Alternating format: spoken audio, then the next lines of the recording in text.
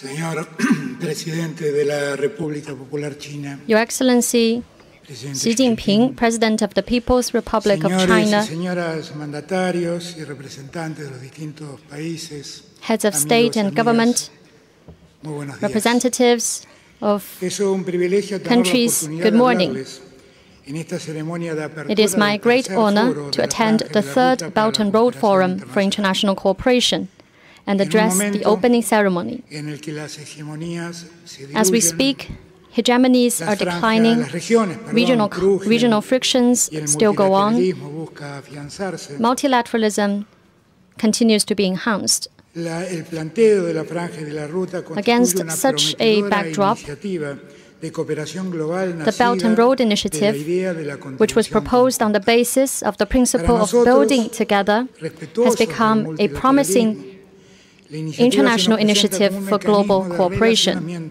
For us, entre países que supporters of compiten con las multilateralism, the BRI is a mechanism that promotes relations among sino que se countries. alinea con ellas This initiative does not compete with existing regional mechanisms, but promotes synergy by bringing out the strength of participating y la profunda countries. crisis climática nos Over the past Yes, we see rapid modo en que producimos technological y el modo en advances and a serious climate crisis. All these require us asistimos a dos to change the way we produce and consume. This is why today we are now seeing two parallel transitions transición global ecológica. the digital transition and the ecological transition. riesgos y a la vez ambas nos abren While bringing to us risks, these two transi- transitions have also given us vast convencido de la opportunities. The Argentine government firmly believes that we need to take a cooperative attitude in response to the shared challenges económico y social de todas and promote the economic and social development of all countries. This is why presentadas por el presidente Xi we support en el marco de las Naciones Unidas. The three initiatives put forward by President Xi Jinping, namely the Global Development Initiative, the global. Security Initiative, and the Global Civilization Initiative. We also support the eight steps que hemos encontrado proposed by President Xi Jinping in his keynote speech. con quien avanzar en la Also, in realizing our goals, we see. China as an important partner. de relaciones bilaterales In developing our bilateral relations, cada vez más We have become increasingly parte de una closer partners with China, and this has always been our goal. In 2014, our two countries Integral de la established the Comprehensive Strategic Partnership. And during my term, iniciativa de la Argentina joined the Belt and Road Initiative. Tras la firma del memorándum de la Franja We see that the political mission of strengthening en el mes bilateral relations junio de este continues to go on, and we have been trabajado en un keep and we have been working towards this goal. After signing an MOU on Belt and Road ambicioso programa de cooperation in. June this year, we formulated a es que este detailed cooperation plan, which is quite ambitious. We hope that this cooperation plan can significantly enhance Argentina's strategic En estos días infrastructure. Estaremos dando un paso más en la implementación These days, we will establish a través a de la working group conformación de los grupos de trabajo. which will mark a new step toward implementing the cooperation plan. el que acumulamos más de 50 Argentina's diplomatic relations with China.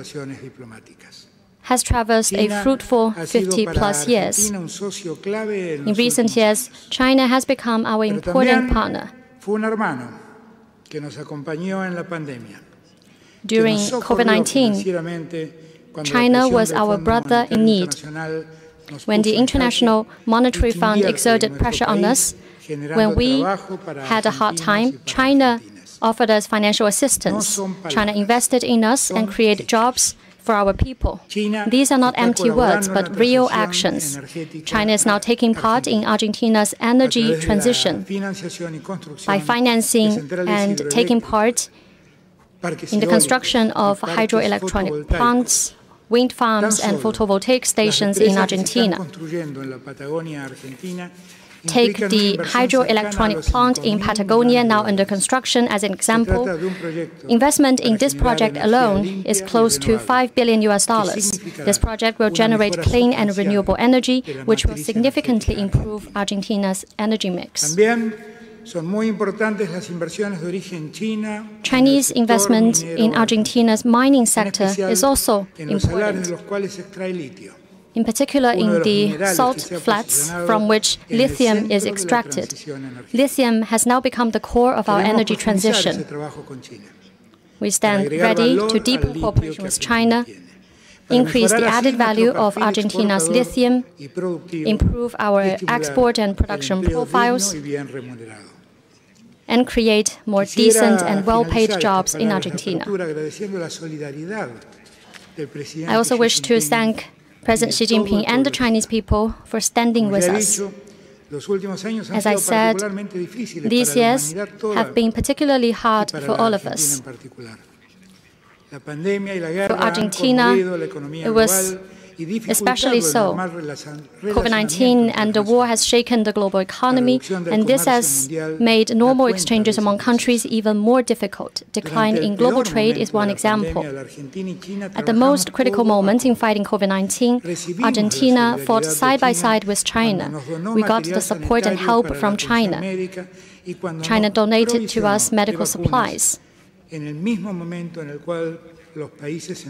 When some countries were hoarding vaccines for their own people, China was the one that offered us vaccines. The assistance we got from China has helped us to meet the basic medical needs of our people.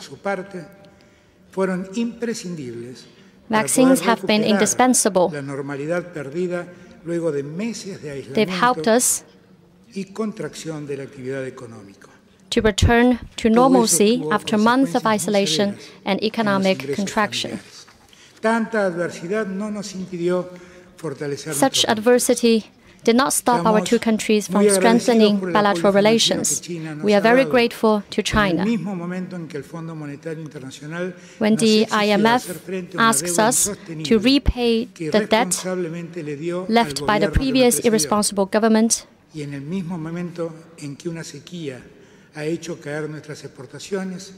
when a drought, when a drought has caused our exports to fall, depriving us of foreign exchange of an amount equivalent to 3% of our GDP, China was there to give us financial support.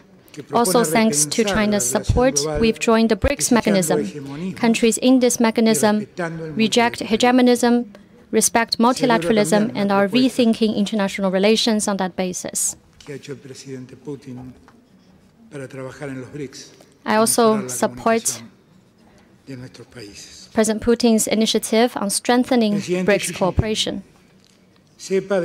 Your Excellency President Xi Jinping, again, I wish to extend a sincere appreciation to the government you led and the Chinese people.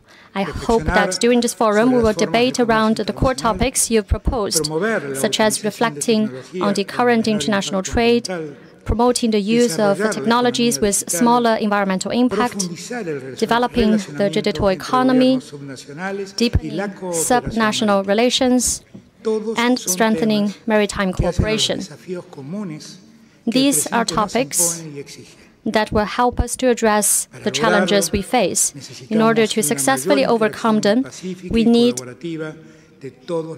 peaceful and cooperative interactions among people of all countries.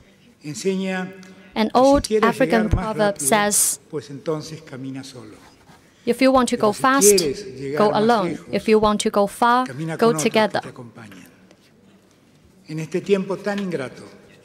At this critical moment, let us walk hand in hand and toward a fairer world that we all dream of. Thank you.